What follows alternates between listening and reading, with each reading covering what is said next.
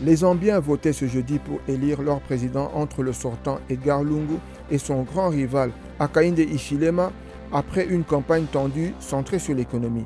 7 millions d'électeurs devaient élire, outre le président, leurs parlementaires et maires.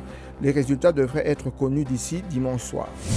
Au Burkina Faso, cinq supplétifs civils engagés dans la lutte anti-djihadiste aux côtés de l'armée ont été tués mercredi lors d'une attaque dans le nord du pays. Selon des sources sécuritaires et gouvernementales, la riposte des volontaires a permis de repousser l'attaque et de neutraliser 17 terroristes.